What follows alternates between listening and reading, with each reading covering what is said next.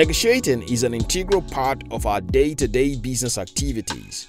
Whether you want to hire a new worker, purchase new items, sell some goods, or make one or two transactions.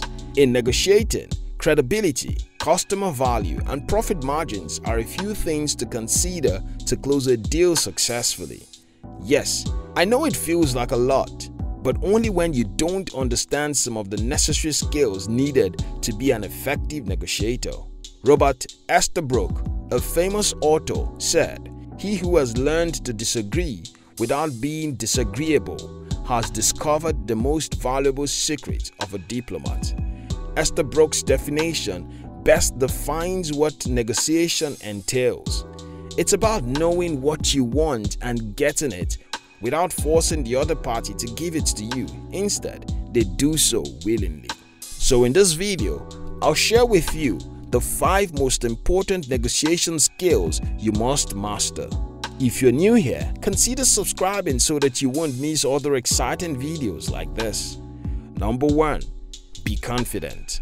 Tell me, do you like to deal with people who aren't confident? I'm pretty sure the answer is no.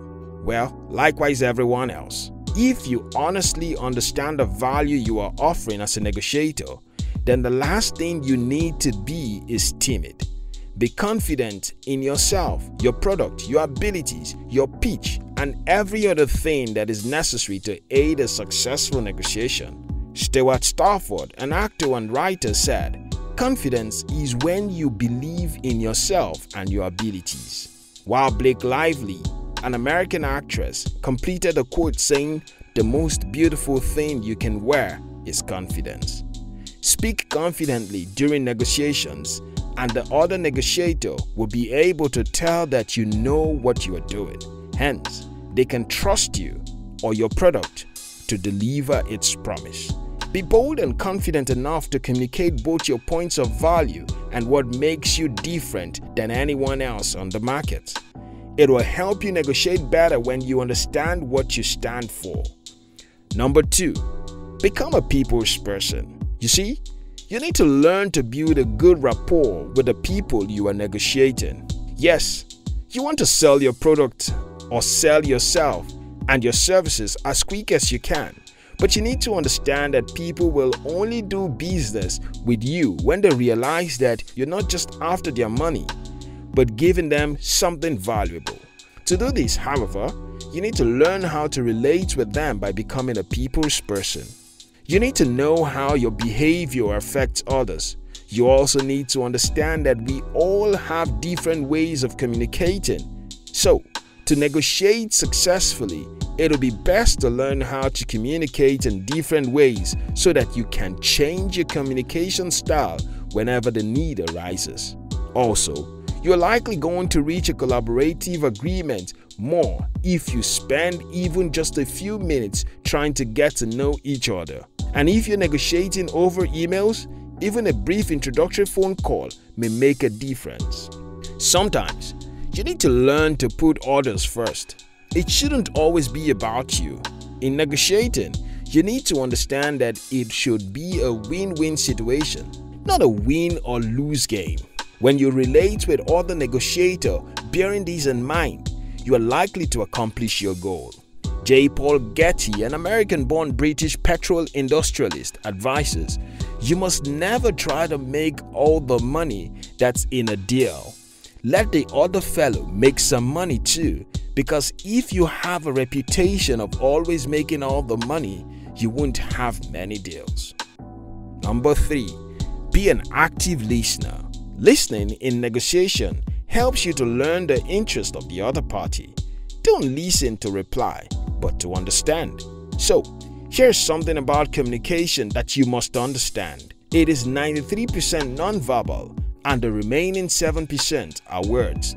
According to a study done by Dr. Albert Mehrabian of UCLA on the ways we communicate when there is an incongruency or mismatch in communication, words 7%, the tone of voice 38%, and the body language 55% which is why so much gets lost between the speaker's lips and the listener's ear. So pay attention to the other negotiator.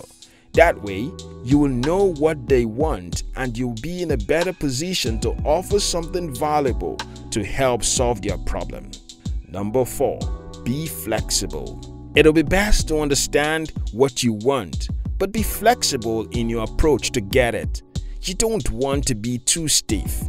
Bill Coleman, an American jazz trumpeter, said, The worst thing you can say is, I want X dollar for this job leaving no opening for negotiation by the other side. Better language is I hope to earn between X dollar and X dollar. That gives the other party more flexibility. Also, another thing to note about being flexible is that you can be on top of any situation quickly. For instance, imagine a situation where the other party throws a curveball at you while negotiating. Keeping an open mind in that can help you find your way out in a very calm manner. Always try to keep an open mind and remain flexible while negotiating. Number 5. Be patient. Here's something that you need to know about negotiating. It can sometimes be awkward, especially if you are new to the game. So, it'll be best to learn how to be calm and patient. Be patient enough not to be the first person to make an offer, especially if you are the seller.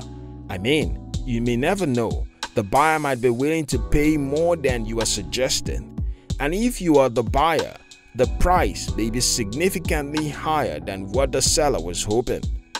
Bill Coleman suggested, This is a classic negotiation technique. It's a gentle, soft indication of your disapproval and a great way to keep negotiating. Counts to 10. By then, the other person usually will start talking and may very well make a higher offer. When you are patient, it sort of forces the other party to become eager to make an offer first, after which negotiation can commence. There you go. With these skills in place, you'll become an excellent negotiator. Thank you very much for watching our videos. If you like this video, watch more videos on our channels and subscribe. We love you.